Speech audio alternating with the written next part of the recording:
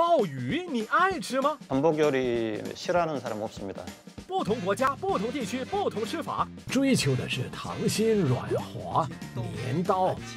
鲍鱼是怎么养殖的？We place say up to fifteen thousand larvae in one of these bags, and we're lucky if we get say four hundred out after about three months。原来鲍鱼也有眼睛和嘴巴。全新系列上食堂，每逢星期四晚上九点，优频道准时上课。